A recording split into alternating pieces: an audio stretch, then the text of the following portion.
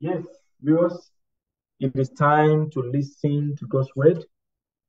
Those who are with us here on Zoom, it is time to listen to God's word. God's word is spirit and life, and it has the ability to quicken us spiritually. It has the ability to give us life. God's word is spirit and life. It is food for our soul. God's word is a lamp for us. It is a guide for us. So we need to listen to God's word because God speaks to us through his word and by his spirit. God speaks to us through his word and by his spirit. So open your heart to receive the word of God. Wherever you are, turn with me. Let us go to the book of John. Let us go to the book of John. The book of John, chapter 14. The book of John, chapter 14. Let us take our reading from verse 23. Jesus answered him, If anyone loves me, he will keep my word. And my Father will love him, and we will come to him and make our home with him. Verse 24 Whoever does not love me does not keep my words, and the words that you hear is not mine, but the Father who sent me. People on Zoom, do you love God? Do you love Jesus? Yes. Do you love Jesus? Yes, we when do. we ask the question, do you love when you ask anyone, do you love Jesus? They are eager to say they love Jesus. Everyone today will tell you how much they love Jesus. But Jesus Christ is saying here, He said, Those who love Him are those who keep His commands. Those who love Jesus are those who obey what He has spoken to us through His word and by His Spirit. Do you love God? Do you love Jesus? Do you act on what Christ has spoken, or do you act based on your own desire, on your own feelings? When you come face to face a situation and you do not know what to do, are you able to act on what Christ has spoken, or are you going to follow the decision of the mass? If you are in an environment where everyone they are doing things which go against the word of Christ, are you going to be the difference? Are you going to stand out and say, No, I am not going to follow the mass? I am not going to conform to the mass. Do you love Jesus? It is easier to say with the mouth that I love Jesus. In your heart, is Jesus the Lord of your life? Is Jesus reigning over your life? As we have just read in the book of John, that those who love Jesus keeps his command. What is command? Love your neighbor as you love yourself. Love the, the Lord your God with all your might and with all your strength. Do you love your neighbor as you love yourself? If you love your neighbor as you love yourself, why are you still keeping grudges? Why are you still holding offense onto your neighbor?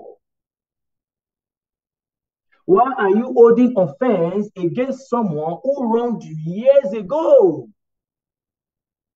Jesus Christ, even at the point of death, he released forgiveness. He said, Father, forgive them, for they do not know what they are doing. Even when he was brutally murdered, he was humiliated, pierced, chastised for our sake, he still loved us.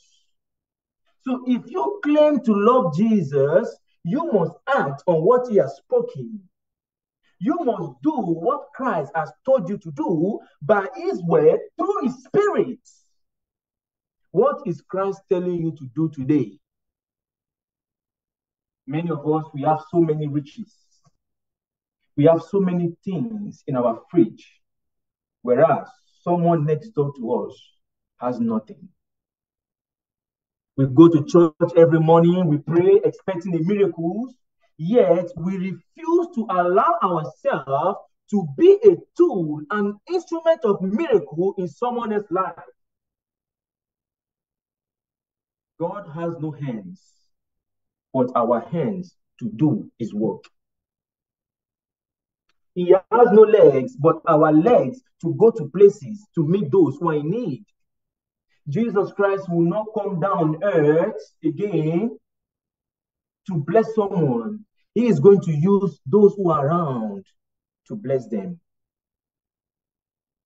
Do you love Jesus Christ? Do you act on his word? If you found it difficult for your prayers to get answered, you need to start looking into your relationship with God. You pray, you pray, you pray, you seem not to get an answer. Look into your relationship with God. Something is missing, and that is His word dominating your life. His word dominating your heart. His word dominating every activity that concerns you. Jesus says, if his word abides in you and you abide in him, whatever you ask shall be given unto you. If his words abide in you and you you abide in his word, whatever you ask shall be given unto you.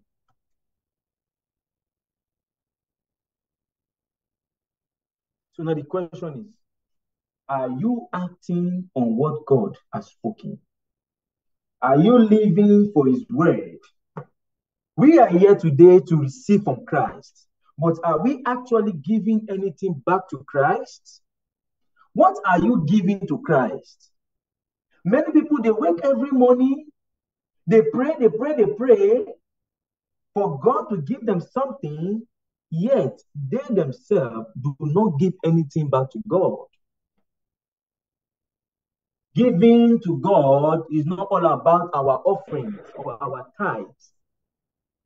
Giving to God is allowing God to use our faculties to express Himself.